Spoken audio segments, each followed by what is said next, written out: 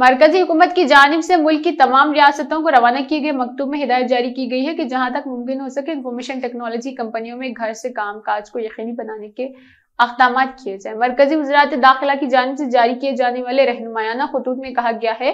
कि तमाम रियासतों में घर से कामकाज की सहूलत को जब तक मुमकिन हो सके बरकरार रखे और इकदाम किए जाए ताकि दफ्तर पहुंचकर काम करने की सूरत में पैदा होने वाली सूरत हाल पर काबू पाया जा सके। मुल्क में कोरोना वायरस के मरीजों की तादाद में कमी रिकॉर्ड किए जाने के दौरान बेशतर रियासती हुकूमतों की जानब से इंफॉर्मेशन कंपनियों को दफ्तर से कामकाज शुरू करने की ख्वाहिश करते हुए हालात को मामूल पर लाने के अकदाम पर ज़ोर देना शुरू कर दिया था। और तेलंगाना में भी हुकूमत के महकमा इंफॉर्मेशन एंड टेक्नोलॉजी की जानब से रियासत में खदमात अंजाम देने वाली कंपनियों में कामकाज के आगाज़ पर ज़ोर दिया जा रहा था। लेकिन अब जबकि मुल्क भर में ओमिक्रॉन के मरीजों की तादाद में तेज़ी से इजाफा रिकॉर्ड किया जा रहा है और अब तक कोरोना वायरस की नई किस्म 21 रियासतों में फैल चुकी है तो ऐसी सूरत में मरकजी हुकूमत के वजारत दाखिला ने रियासतों के चीफ सेक्रेटरीज को मकतूब रवाना करते हुए मशवरा दिया कि घर से कामकाज के कल्चर को खत्म ना किया जाए, बल्कि कंपनियों की जानब से घर से कामकाज के फैसले की हौसला अफजाई की जाए। मुल्क भर में कोरोना वायरस की नई किस्म ओमिक्रॉन के मुतासरी की तदाद में होने वाले इजाफे को देखते हुए जारी किए जाने वाले उन रहनुमायाना खतूत के बाद कहा जा रहा है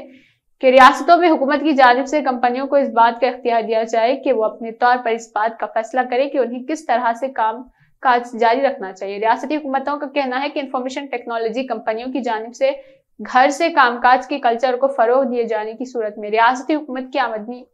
मुतासर हो रही है, जिसमें बरक़े की तजारती खपत में कमी के अलावा आई टी मुलाजमीन की आमद रफ्त में रिकॉर्ड की जाने वाली कमी के सबब तेल की फरोख्त में रिकॉर्ड की जाने वाली गिरावट शामिल है।